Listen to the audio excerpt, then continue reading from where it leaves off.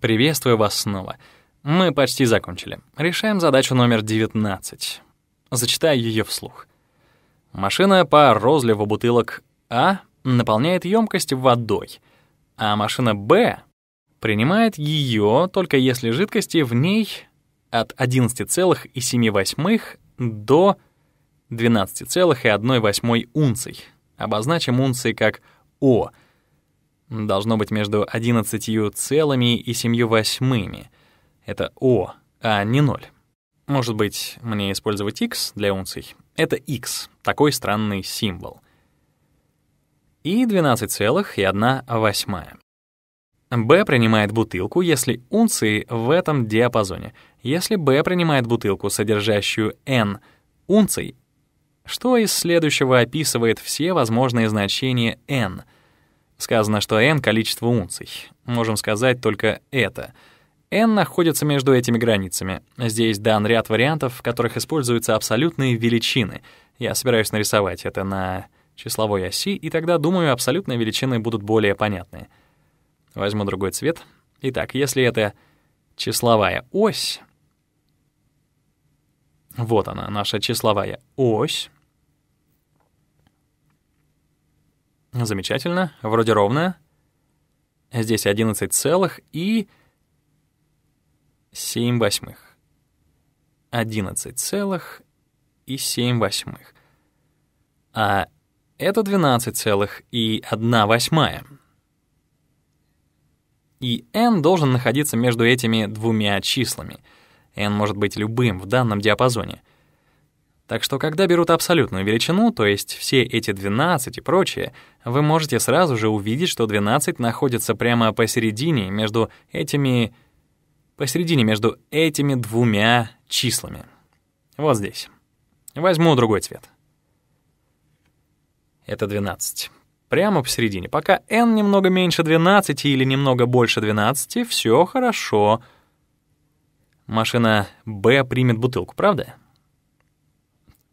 Так насколько больше 12 может быть n? n может находиться где угодно в этом диапазоне, правда? Очевидно, что если n равно 12, все идеально. Прямо посередине равно удалено от всех неподходящих значений. Что-то вроде идеальных унций — Идеальное число унций в бутылке питьевой воды. Посмотрим. Может быть, больше на одну восьмую. Это расстояние равно 1 восьмой. Насколько больше 12 может быть n? Оно может быть больше на одну восьмую. А насколько меньше? Это расстояние тоже 1 восьмая. Так что мы знаем, что n минус 12 — это разность между n и 12. Но мы не знаем, больше ли n 12 или меньше 12. Скажем, это разница. Возьмем абсолютную величину. Потому что если n больше, абсолютная величина не играет роли. А если n меньше, то n минус 12 будет отрицательным числом. Важен лишь модуль разности. Нам не важно, положительно ли число или отрицательно. Тогда мы говорим, что n минус 12 должно быть меньше. Разность между n и 12 — это просто модуль n минус 12 — он должен быть меньше либо равен допустимой норме. Возможно, вы еще не имели опыта производства, но если имели, то точно встречали такие вопросы. Модуль должен быть меньше или равен 1 восьмой. Вы должны это хорошо понять. Вы можете сказать, что n не может быть больше, чем на 1 восьмую, чем 12. n минус 12 должно быть меньше либо равно 1 восьмой. А с этой стороны n минус 12 n минус 12 если n находится в этом диапазоне, так будет, если n больше 12. А если n меньше 12, n минус 12 должно быть больше либо равно минус 1 восьмой. Это может сбить вас с толку, и я даже сомневаюсь, стоит ли записывать. Но два утверждения превратятся в это — на большом рисунке абсолютная величина подразумевает лишь разность между двумя числами. Мне все равно, какой из них больше другого. Разность между двумя числами не может быть больше 1 восьмой. Модуль n-12 меньше либо равен 1 восьмой. На самом деле, это находится между этими двумя величинами. Оно не может равняться им. Тогда это не меньше или равно. Это просто меньше. Так что n-12 меньше 1 восьмой. И это Вариант С. Переходим к последней задаче. Одну секунду. Итак, задача номер 20. Почти все сделали.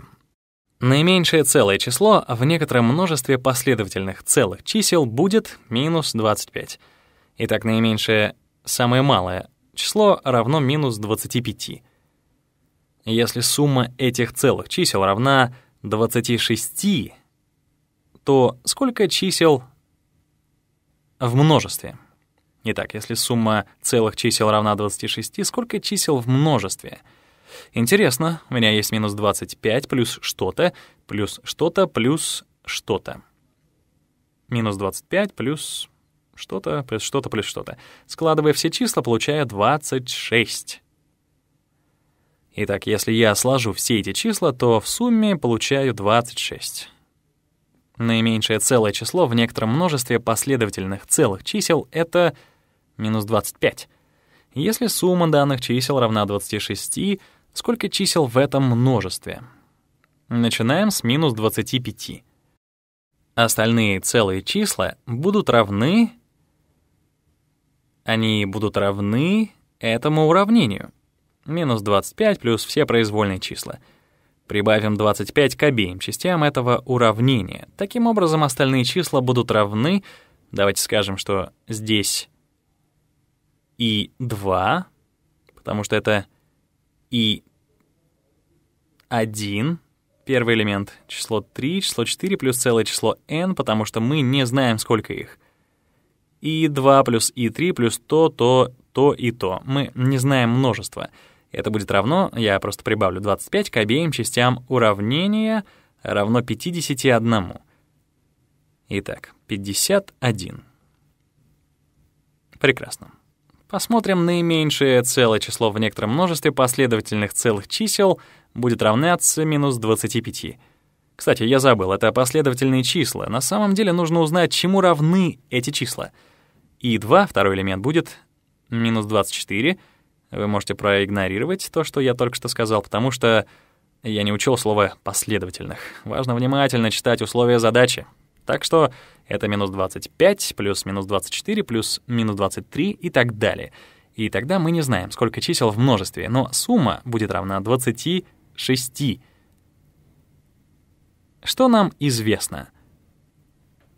Нам известно, что мы идем от минус 25 плюс минус 24 плюс минус 23 и так далее до нуля. Итак, мы идем до нуля. Затем мы продолжаем прибавлять к этому 1 плюс 2 плюс 3 плюс 4, и мы складываем их, как вы знаете. Запишу это следующим образом. Минус 25 плюс минус 24 плюс минус 23 плюс и так далее. И так далее. Плюс минус 1 плюс 0 плюс 1 плюс 2 и так далее. Плюс 24 плюс 25. Сумма всех чисел от минус 25 до 25 будет равна нулю. Спросите, откуда я это знаю? Потому что минус 1, я изменю цвет, минус 1 сократится с единицей. Минус 2 сократится с двойкой, минус 23 сократится с 23, и минус 24 сократится с 24, а минус 25 сократится с 25. А вот последнему элементу 26 не с чем сократиться, и это равно сумме, потому что все остальные элементы сократились. Сколько здесь элементов? Чтобы пройти от минус 25 до минус 1, это 25 элементов, правда? От минус 25 до минус 1 — 25 элементов. Далее, чтобы пройти от 1 до 25, это 25 элементов. Далее 0 один элемент, и 26 еще один элемент. 25 плюс 25 равно 50 плюс 1 плюс 1. 52 элемента. Это вариант Е. Мы закончили первый раздел. Надеюсь, вам было очень интересно. Скоро увидимся.